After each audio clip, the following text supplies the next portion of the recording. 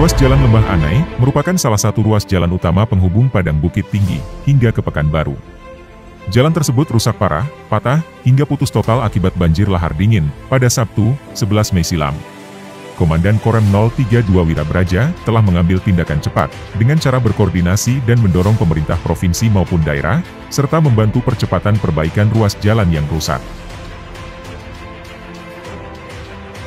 Selamat pagi, mohon izin Bapak Kasat atas petunjuk Bapak Pangdam 1 Bukit Barisan, kami beserta Dandim, Kapolres Pandang Panjang, HKI, PU, dan konsultan. Izin melaporkan Bapak Kasat, kondisi di Lembah Ane ini sekarang kurang lebih 30 persen.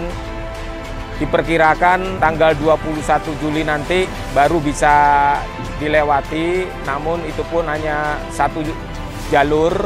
Harapannya nanti di bulan Oktober baru jalan ini bisa dibuka kembali untuk menghubungkan transportasi dari kota Padang ke Bukit Tinggi sampai dengan Pekanbaru.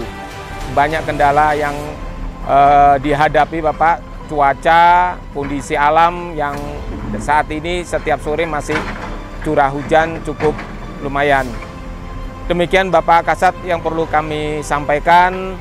Mudah-mudahan kami bisa menyelesaikan target jalan di Lembah Ane ini.